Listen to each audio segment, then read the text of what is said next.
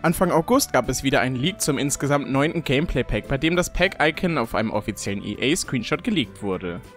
In diesem Video möchte ich das mögliche Thema des Packs diskutieren und einige Community-Vermutungen für euch zusammenfassen. Für alle, die das Icon noch nicht kennen, hier ist es nochmal in einer hohen Auflösung.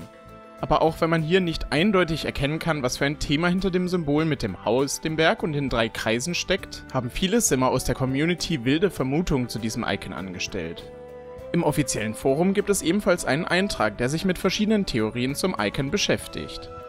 Die Userin Onverser beispielsweise sieht in diesem Icon eine winterliche Landschaft mit einer kleinen Skihütte, einem Berg und die Kreise quasi als Andeutung für Schnee. Als ich das Symbol zum ersten Mal gesehen habe, war ich ähnlicher Meinung. Ich habe ebenfalls an eine Winterlandschaft mit eisigen Temperaturen und neuen Winteraktivitäten gedacht. Diese Theorie würde ebenfalls zur im Januar veröffentlichten Umfrage passen, welche die Community nach ihren liebsten Winteraktivitäten gefragt hat.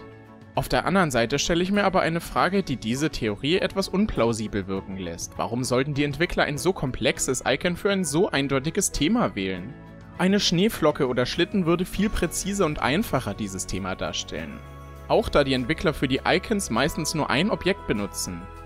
Hier kommt eine andere Theorie ins Spiel. Der Simmer Elias Versace sieht in diesem Symbol die Welt Batu aus Star Wars. Wenn man dieses Bild von der offiziellen Website mit dem Symbol vergleicht, fallen auch hier durchaus Parallelen auf. Der Berg und das Gebäude links sehen sich recht ähnlich, außerdem kreist Batu um drei Sonnen, welche ebenfalls die drei Kreise erklären würden. Außerdem gab es in der Vergangenheit schon einige Star Wars Inhalte in The Sims 4, weshalb diese Theorie für mich auch nicht unbedingt unrealistisch ist. Ich persönlich wünsche mir absolut keine weiteren Star Wars Inhalte im Spiel, da diese meiner Meinung nach überhaupt nicht zu den Sims passen. Allerdings gibt es bestimmt einige Fans, die sich über solche Inhalte freuen würden. Auch die Gestaltung des Symbols macht hier Sinn, ein Star Wars Thema auf einem Symbol darzustellen ist sonst relativ schwierig. Mir würde hier keine gute Alternative einfallen. Manche Spieler sehen hier aber auch eine Mondlandschaft mit den verschiedenen Planeten im Hintergrund, meiner Meinung nach theoretisch auch möglich. Hier würde sich nur die Frage stellen, was die kleine Hütte hier auf der Mondoberfläche zu suchen hat und ob man einen Mond nicht auch einfacher darstellen könnte.